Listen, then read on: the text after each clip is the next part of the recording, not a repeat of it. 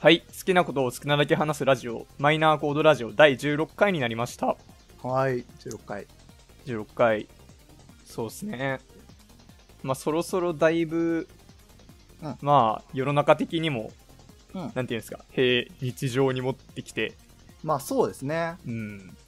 あの、まあ、ラジオうーん。とかも、だいぶスタジオで収録に戻ってきてるものが多いっすよ。ね。なるほど、なるほど。ああ、うんそっか。なんか、俺は割と TBS ラジオとかを聞いてたから、はい。あ、まあでもそれでもそうだね。あの、あ、TBS ラジオっていうと、あの、昼の玉結びっていう番組があるんだけど、それのあの、はいまあ、えっと、メインで喋ってるキャスキャスターっていうかアナウンサーの、ああ、人がそっか。そうそう、あの、コロナウイルスかかっちゃって、うん。で、えーっと、2週間、なお完治して、2週間空いて療養期間終わったから、今週戻ってきたみたいな話もあって、うん、そうっすね。確かに、まあ、徐々にだけどって感じははいしますね。うん。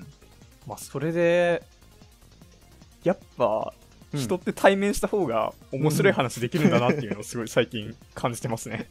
そ それは確かにあるよね。うんまあ、この、なんですか、このラジオ、うん。このラジオはなんか、第1回からずっとリモートでやってるんですけど、そう、あの別にコロナも何も関係なく、そう、そう、リモートでやって物理るけど。的距離があるからやってるけど、確かに。そう。えーいや、なんかやっぱりなんかうん。リモートになって、ちょっと、うん。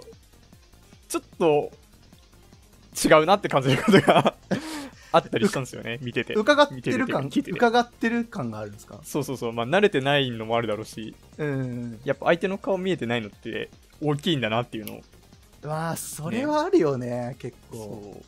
まだ一月、二月ぐらいの、うんなんか緊張を経て、あ 改めてなんかスタジオに、スタジオ収録してるやつを聞いて、うんああ、うんこれだよ、これっていうのがすごい 気持ちよくな帰ってきたよって。そうそう。そうなんだよ。こう、こういうなんか遠慮ない感じがいいんだよっていうのを最近感じてますね。確かにね、伺う感はどうしても出るよね。うん、そう。あの、なんだっけ、ややすきとか、あーね、それこそ、なんかこの前、タイムラグがあって、みたいな話とかもあったし。そう。まあなんかリモートもうなんか、繰り返してだいぶ慣れてきてるのを聞くのもうん面白いっちゃ面白かったんですけどね。まあね、うんうんうん。そうそう。あ、慣れてきてんなっていうのをすごい感じる。それはそれで面白かったんですけど。いや、でもいろいろあったな。なんか、それこそ玉結びは、はい。月曜から木曜までやってるんだけど、はい。なんか木曜のパートナーの人が結構、うん。えーっと、なんだろう、家電とか好きな人で、へー。その、こういう状況だから、そのリモート用の機材をめちゃくちゃ買ったんだよって言って試したら、もう全く使えなくて。あ あの、結果結果はい電話で喋った方が、あの、収録の音のノリがいいっていう回があって。収録系のやつって家電って言うんですか？家電じゃないのかな？まあ、なんて言うんだろうわかんないけど、まあ、電子機器。前そうそうそうそう。電子機器。なんかもともとミュージシャンの人だから、ああ、そうなんですね。まあなんかその辺もあって買ったんだと思うんだけど、なんかえマイ マイクの声のノリとかが明らかに悪いみたいー、な。なるほどな。めちゃくちゃマイク面白かった。音質がわかんないですもんね、なんか。うーん。人によるしね。うん。あと割と回線による気がする。あー、ありますね。うん。まあ、てか、うん聞いてたんですね、玉結び、そもそも。玉結びはね、ずっと木曜日聞いてて、あへのー。そうそう、あの木曜日がもともとあの電気グループピエール滝さんがやってて、はい。そうなんですよ。あの、捕まったので、あの、はいパートナーが交代して、うん。去年から交代したのかな。はい。で、それでね、結構ショックだったから、当分聞いてなかったんだけど、最近さ、もうなんか在宅というか、まあ家にいろっていう状況だったから、うん。まあ暇で暇で。で、はいはい。なんとなく、そのラジオ聞きたい気分だったから、で、昼のラジオって長いんだよね。1時間半とか2時間半とか。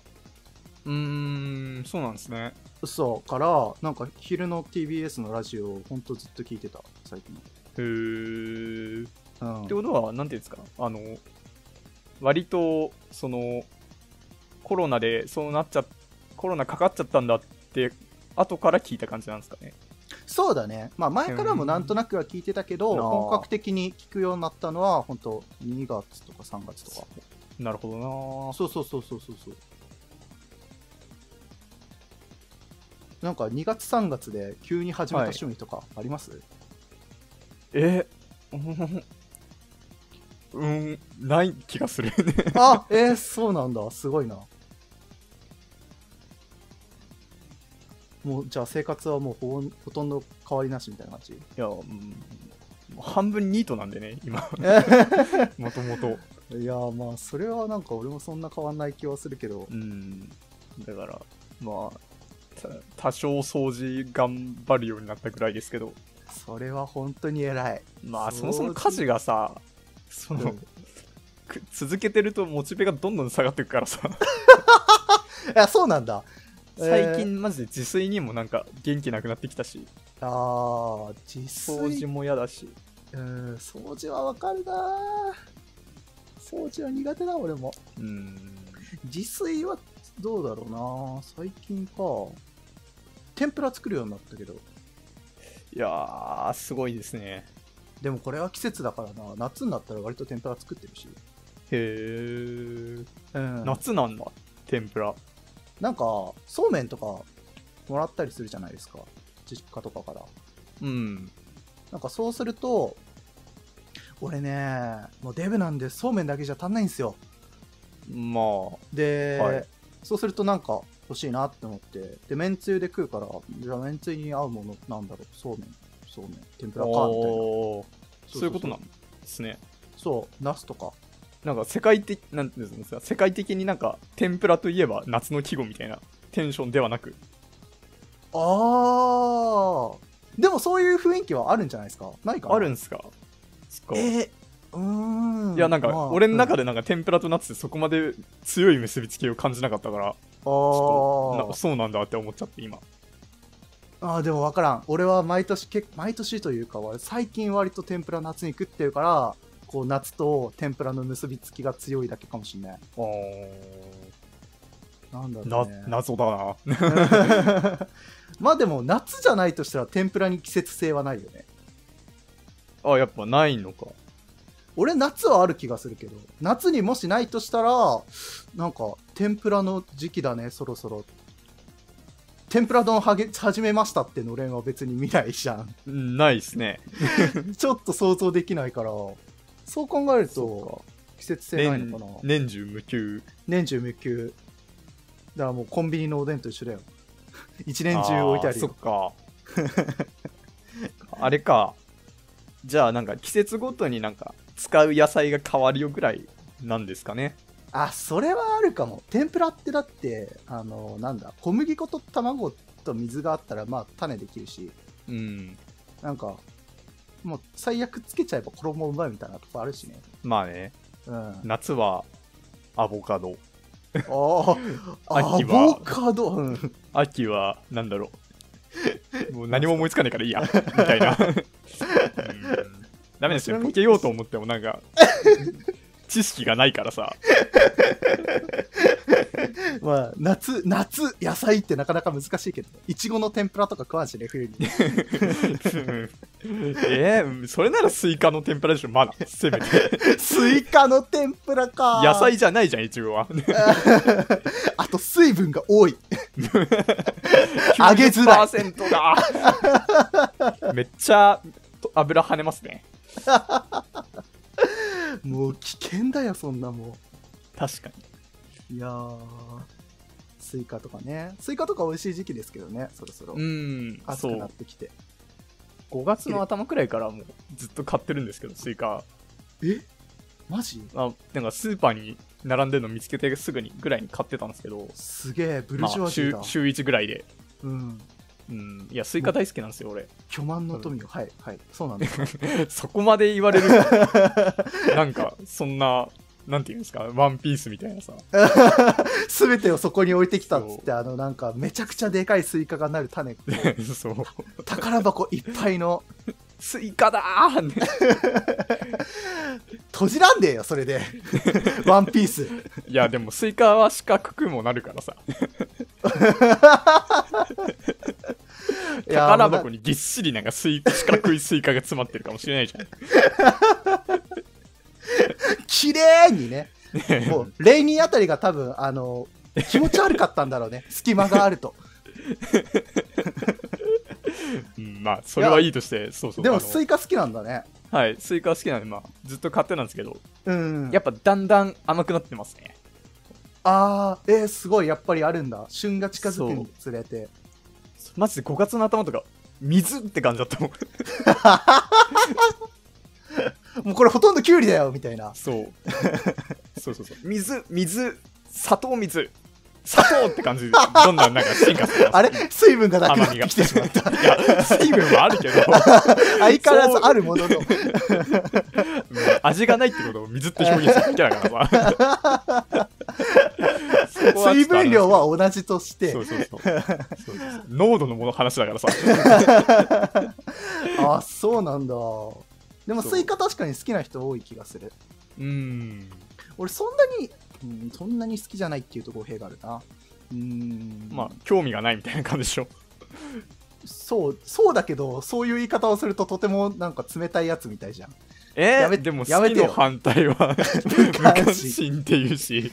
違う違う違う俺はスイカに対する関心をちゃんと持ってるってえー、うん。でも、大したことないんでしょ？違う聞いて平君、はい。聞いてはい。あのスイカって人気があるじゃないですかうん。あの特に子供にうん、そそうなんだね。はい。そういうことにそんなことない、はい。あれわかんない俺のまあだとするじゃないですかはい。だと仮定するじゃないですか、はい。あの価値のあるものは何として使えるかっていうとうん通貨として使えるんですよ、え？はい。はい。だからもう僕は あの家庭でスイカが出てきたらもう妹に「お前スイカ欲しい?」って聞いて、うんスイカをあげるとはい。で後でプリンとか出てきたら「お前あの時俺スイカあげたよなそのプリンよこせ」っつってプリンをもらうとうーん？うん 通貨としてのスイカを好んできましたよ僕はえ、なんか、電子マネーとかけてます？なんか。いやすあー恥ずかしい。恥ずかしい。そんなつもりは一切なかった。うん、いや、そっか、でも、ああ、そっか。うわダメージがでかい。うん。スイカ、え、でも、一応美味しいとは感じるけど、なんか、なんていうんですか、うん。プリンの方が強いんですね、じゃあ。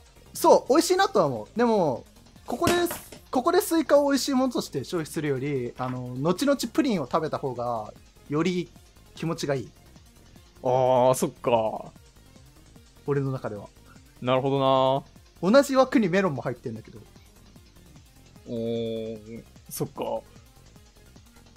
そっか。ああ、なんか、価値観を共有できなかった。あ れそうなんだえ兄弟持ちって割とこういう話ないのかなと思うんですけど俺は、なんていうんですかな、好きなものは全て奪い取ってきたから、兄弟間では。ああだからやっぱワンピースだ。ああそうなんだ。こうし政治はあそこに存在しなかったんだね。そう、いや、うーん、なんだろうな、割と俺、姉に迷惑をかけまくってたタイプのクソ弟だったから、いやいやいやいや、結構いろんなものをもらってた気がする。えー。まあ、あの、姉と好み、飯の好みがだいぶ合わなかったっていうのもあるんですけど、あだからそういうことまあ俺はちょっと好きだったけどでもそういうことじゃない？なんかいや、逆にそんな、なんですか、明確なギブアンドテイクは俺の中ではなかった。あそうなんだ。そう。へえでもなんか兄弟間のさ食事の好みの違いってさなんか考えてみるとそこそこ不思議じゃない、確かにね、なんか味同じしょ覚は、うんなんか3歳までに決定されるみたいな話あるじゃないですか。あいやそうなんだいや、知らん。なんていうんですか、人間の脳は10%しか使われてないと同じくらいの 話だと思うけど、本当かどうか知らない雑学ね、まあ、そうそうそう。まあだから、なんか、実際幼少期、まあ同じ家庭だったら大体同じ食生活になるはずなのに、ね、まあ違いがあるのは確かに不思議ですね。不思議な気がするんだよね。なんかうん。うちの妹めちゃくちゃ酢の物好きで、へえなんかあのタラタラしてんじゃねえよとか。なんだろそこに最初出るんだ。う なんかそういう酢の物系。あとなんだろう。うんモロモロヘイヤとか。モロヘイヤ。あもずくとか。モロヘイヤって酢の物へモロヘイヤの酢なんか酢であえたやつかな。えとかそめちゃめちゃくちゃ好きだったの。うん。俺何も共有してあげられなかった。あの子のことを。何も理解してあげられなかったんだよああ酢の物そんなに好きじゃないというかなかった。あうーん今でもあんまり酸っぱいの得意じゃないんだよね俺。あそうなんだ。うん。なんかあと甘酒がすごい好きであいつ。甘酒か甘酒とか好きでした？全然飲んでなかったんですよ。ああじゃあ飲んだこと自体があんまりないってこと？そうそうそう。だからちゃんと飲んだのマジで大人になってからだと思います。本当に、えー、あそうなんだ。そう。でこれ飲んでたらもうちょっとなんか今なんですか？子供の頃からもっと甘酒飲んでたらうん。大人になって酒になれるの早かっただろうなって思いながら飲んでた。って思うじゃん。はい。でも俺の妹そんな飲まないんだよねうーん。俺は結構飲むのにうん。なんか不思議だなーって思って。そうっすね。確かに。うん。なんかうーん種お姉さんとのこう食の差異を一番感じたやつあります？なんか無限にあったきある記憶はあるんだけどな。特にこれってあんまり出しづらいか。もう俺チーズ単体では好きじゃないけどうちの姉はめっちゃ食いますねチーズ単体で食べるって何？えあるじゃないですか。なんかそういうの。いスライスチーズとかってこと？やスライスチーズじゃなくて固形のなんか三角になってるやつとか。ああトメとジェリーに出てくるそうやつそうあのなんていうんですか。丸うん。円形になっているやつをなんか5等分、10等分くらいしてあるやつとか。うんうんん。そういうやつをまあ買ってきて父親とか姉とかはよく食べてたけど、俺はチーズ単体ではピザとかなら食べれるけど、ね。ーズ単体は嫌だなって思って食わないし。単体かワイン欲しいな。うーんそういう扱いなのか？俺の中では。単体はちょっときついかな。きついっつうか、へうーん、あとなんだろう。俺イチジクとか苦手だけど姉は割と好きだった記憶があるな。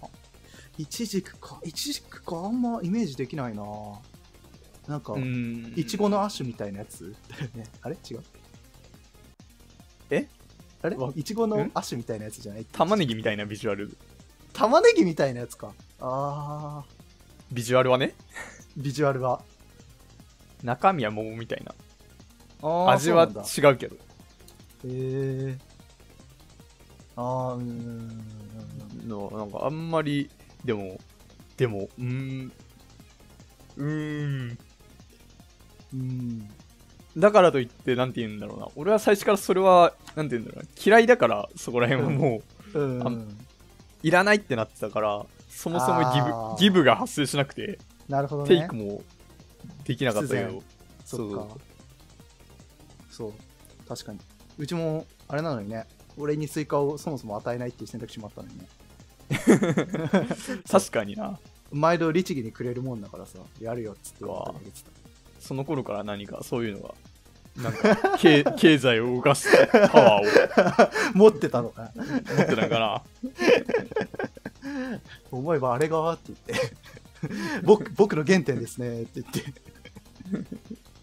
あるかったそんなこと。うーん。いやでも暑いっすね本当に。暑い。暑いしなんか6月6月に入った瞬間にツイッターの住民たちがはいもう1年の半分がっていう話題を始めるじゃないですか。言いたいだけじゃん。始める？じゃないですかってなんかすごい否定的なニュアンスになってしまった、でもじゃあ待ってほしいと、はい。はい。月並みな話だけどまだ6月に入ったし段階だと。お前ら待てと、6というこうショッキングなショッキングななんか、うん。強い情報に踊らされてるけどまだ6月は終わってないからって気持ちになるんですよ僕はまあ一うーん わかんないですかね感じなんか、俺はうるせえっていう感じの方が強いから。そんな論理的な思考ができない、そいつらに対して。いやーまだ早いじゃんって思うんだよね俺うるせえしねえって感じが。なんか、いや、まだだ6月は終わってないから、1年の半分とは正確には言えないんじゃねえか、クイクイとか、なんかあんまり思えないんですよね。マジか。俺もう全開でもうエアメガネをクイクイしながらさお前は気が早いぞ。あのあと1ヶ月を楽しめって思うんだけど。思っちゃう。もうなんかいろんなものにもう月並みな話だけどもクリスマスとかもさ、うん。もう11月とかの段階から宣伝し始めるじゃないですかそれは、なんていうんですか、企業戦略だからさ、早い早いって思っちゃう俺。それはなんかもう企業の戦略だからさ、あんまりなんかなんと、ツイッターにいるなんか暇人どもとは違うじゃん。メカニズムが違うから同じに離れせないですかこれ。そうそうそう。なんか企業がなんか利益を上げるためになんか1年もう半分過ぎましたねって、6あ言い出したら月頭に言うのは、うんまあなんかうぜえとは思うけど、まあ企業戦略だしなとは感じるけど、そっか。金金の力にはあれだね。すんなり応じるんだねタイまあでもツイッターがなんか1年の半分がっていうのはやっぱうるせえもう俺は全力でメガネをクイクイ上げていきたくなっちゃうんだよそんなにか。ななんかさハロウィンとかもさなんか割と早い段階から言わない、まあ企業戦略だから。逆だから。でも俺もうだってハロウィンの正確な時期わかんないんだもん。秋ぐらいの。10月の31じゃないの？違うの？あ10月の31なのか。なんかハロウィンのことを思い出すたびにあれ10月の31だったか11月のなんか30だかだったっけなみたいな。まあそこら辺はフィーリングでいいんじゃないですか。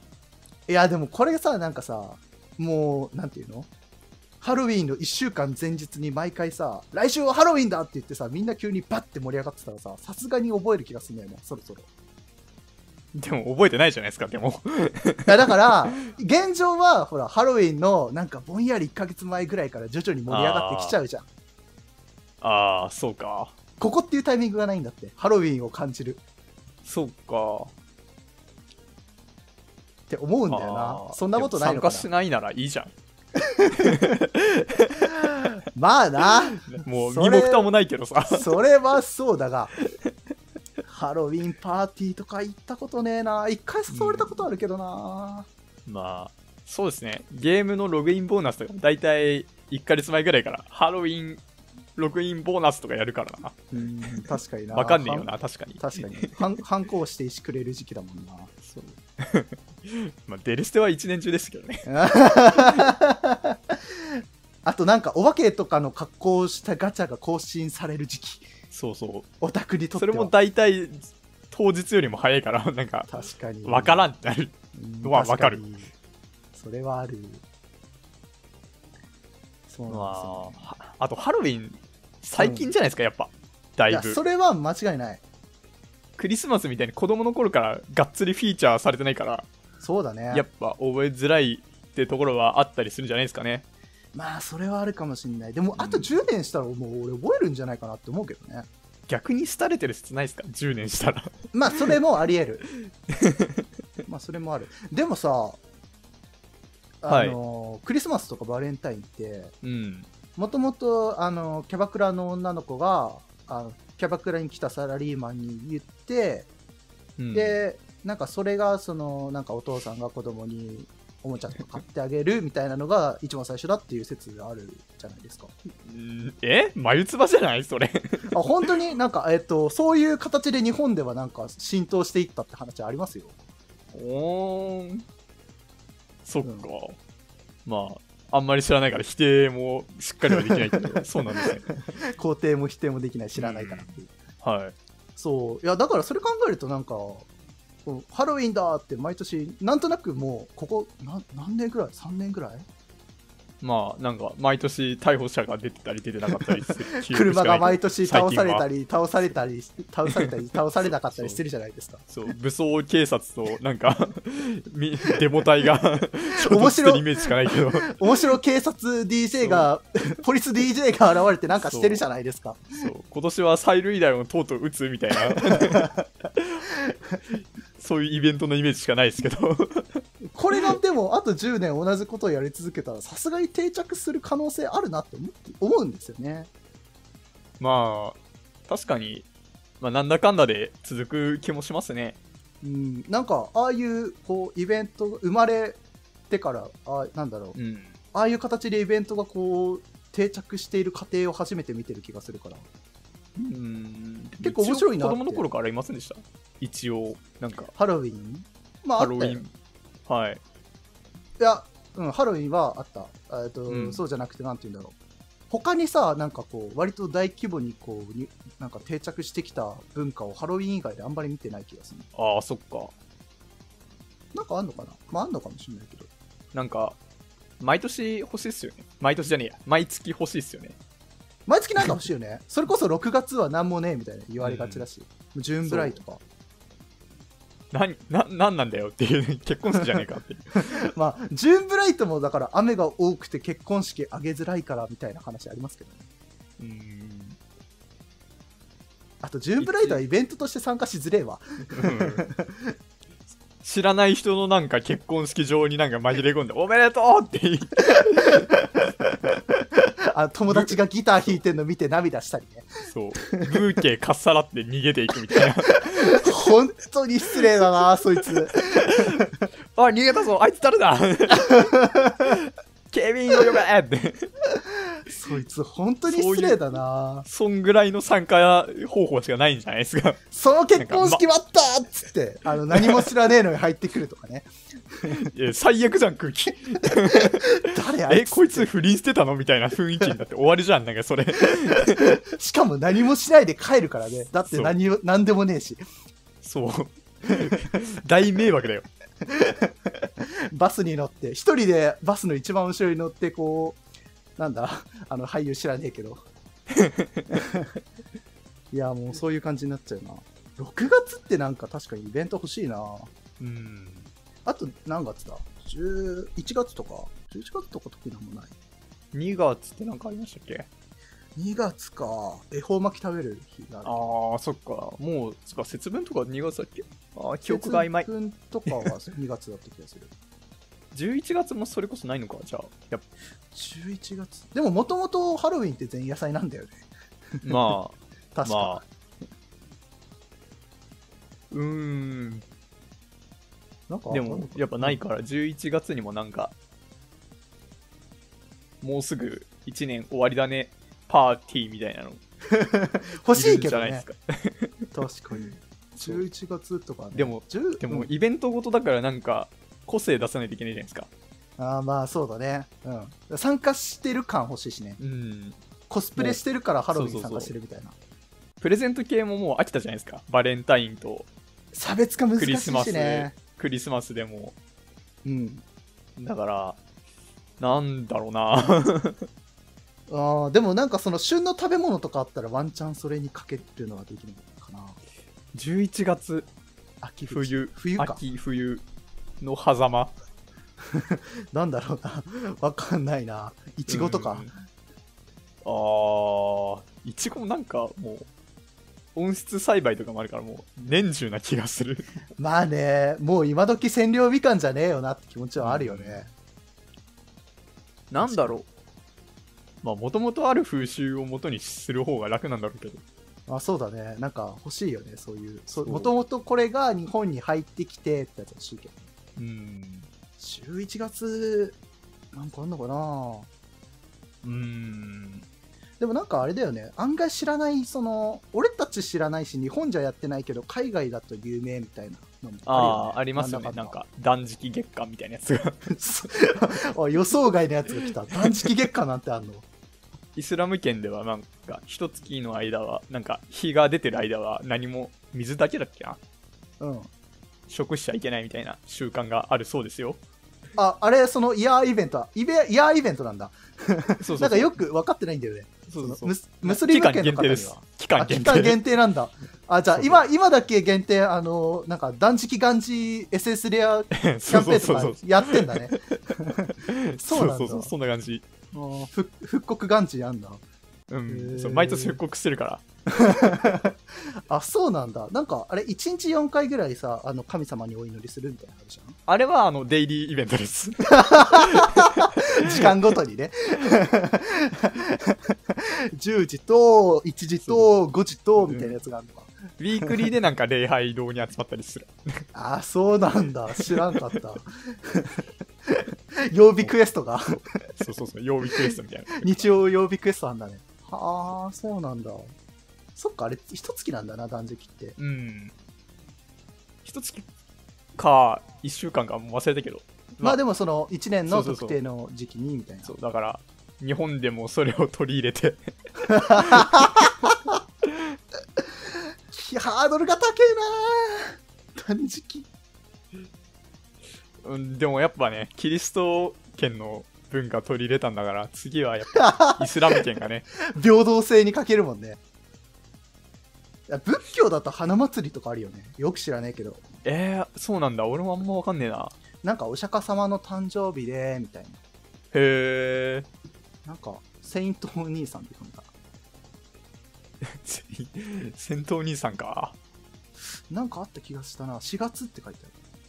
へえあ、でも旧暦の4月。あー、もうこれわかんねえんだよな。七夕ってさ、はい旧暦の7月だったの？もともいとは。やしいや知らんどうなんだろう。旧暦システム俺正直全然分かってないし分かってないよね。ちゃんとわかんないけど。でもなんかあるよな。うんお盆って神道？お盆は何なんですかね？お盆もよくわからんよね。うんなんかあ、でも祖先信仰と仏教が融合した行事って書いてあるわ。あーすぐ融合するなはあと。オッケー。じゃあ仏教はお盆だわ。お盆はもう定着してるでしょう。日本でもお盆はお休みしてコミケ行ったりしてるわけだし。逆にもうなんか特別なイベントっていうかなんか休みじゃん。ゴールデンウィークじゃんただの。まあね、確かにね。うん。いやまあでも、もともとが仏教ですから、まあそっか。やっぱり。仏教系それで消費するのか。消費しちゃうんじゃないですか？うんじゃあやっぱ断食で三大宗教クリアしていきますかね。クリアか。そっか。取り入れられるかな？わからん。断食って難しそうだな。ハードル高いし。うーん。断食まあ逆に何も与えないし、うん。食べないっていうのは新しいですよね、でも。やっぱり、まあね、確かにね。差別化っていう意味合いではね。なんか、とんでも商品生み出してる、なんか、マネジメントの人と同じような感じあるけど、これは新規性があるから売れますよって、それ売れなかったのってなんでだか考えてみみたいなさ、感じあるけどな。差別化？うんそっかそっかわかんねえけど。まあでもいろいろあるよね、なんか。えなんか4月の14日が、なんか、オランダだと、なんか、なんとかデイでみたいな。オレンジデイでみたいああありますよねな。なんか、あるよね。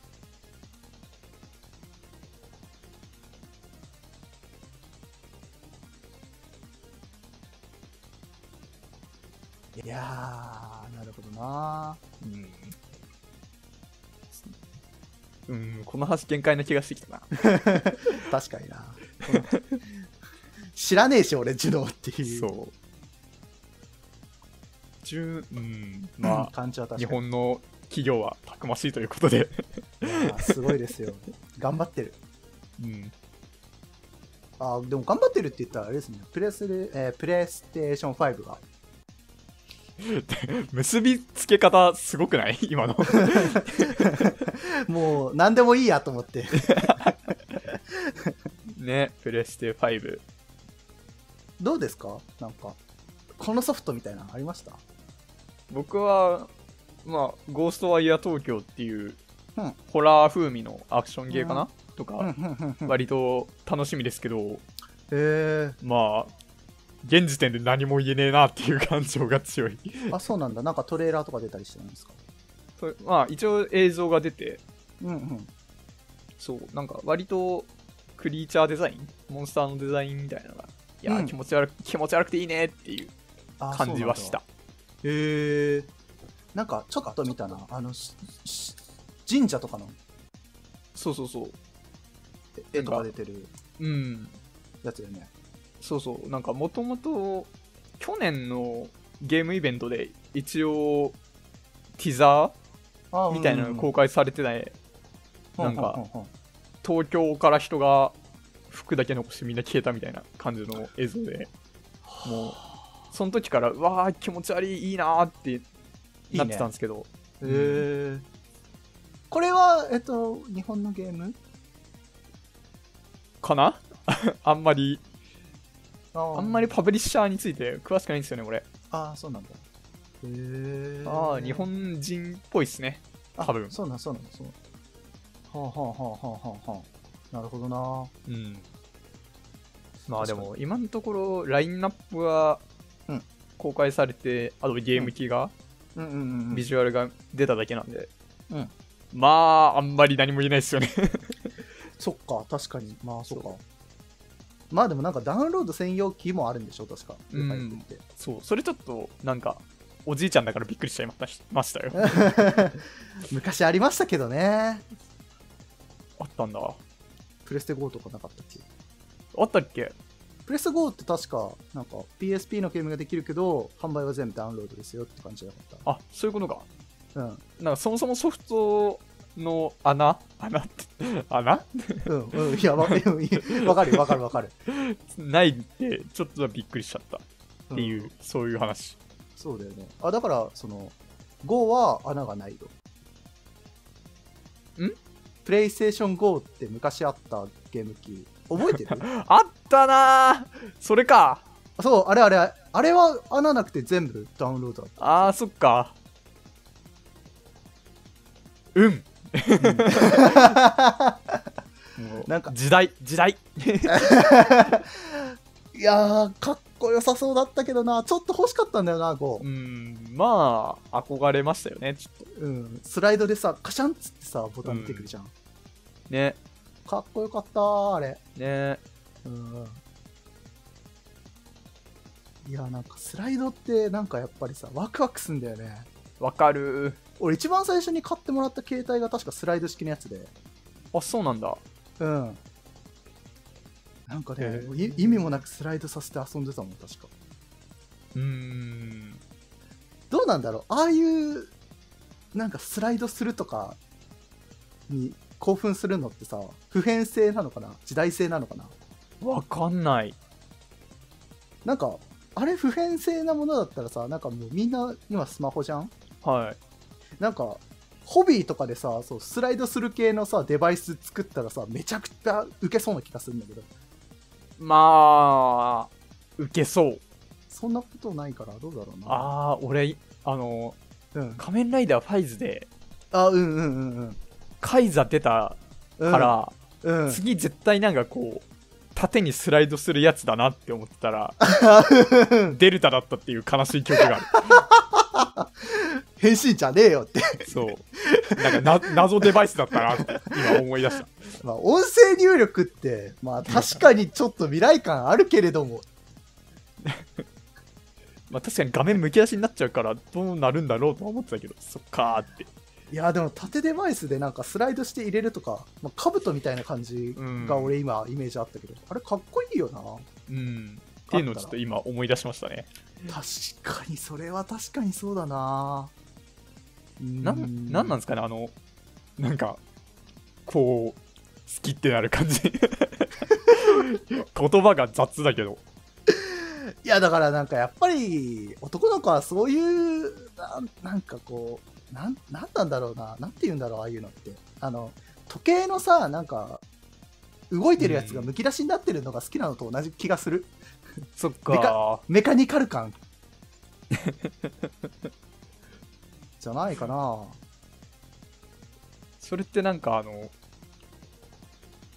ロボットが走行パージするのに興奮するのと同じ？ああ、でも同じじゃないですか やっぱり。同じか。モビルスーツの腕が切れて中のチューブ見れるのに興奮するのと同じじゃないですか。そっか。これはちょっと違うかなわかんないけど。わかんないけど。じゃあやっぱなんかそういう男の子向け的なテンションの、うんなんか、教育の賜物、教育のそういう賜物なのかな。かな感性のあれなのかな。いや、でも受けそうな気がするんだよな。なんか、うん。やっぱ、いまだにきっとあるはずじゃん。そういうコロコロに乗ってそうなさ。確かに。トレジャーガウストみたいなやつね。それを俺も今、ちょうど思い浮かんでた、トレジャーガース トレジャーガウスト好きすぎてさ、俺、なんか、持ってなかったけど。ト。トレジャーガースト欲しかった漫画をすごい読んでたからさ。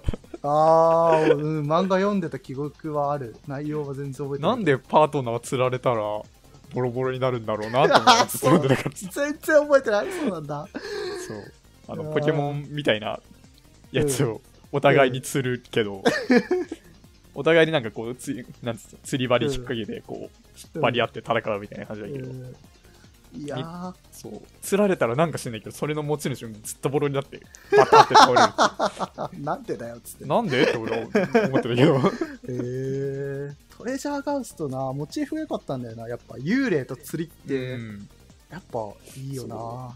妖怪オッズとどこで差がついたんだろうな。そう。なんでなんだろうな、確かに。妖怪ウォッチって時計かな、かなでも結局、妖怪を、なんていうんですか、うん、ウォッチして捕まえるみたいなのはに。そうだね。同じコンセプトのはずだから、うーん。なんでかな？なんでだろう。なんでトレジャーガウストは派遣、派遣フォビーになれなかったのか。そう。やっぱジバニャンがいなかったからかな。いや、なかなか世知がれえな。うん。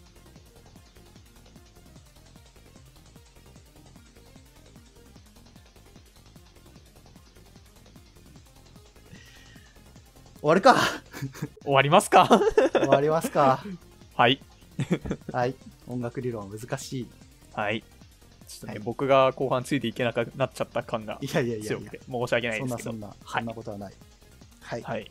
ではとい、うことで、はい。今回はこれまでということで、はい。ではいは、さようなら。ありがとうございました。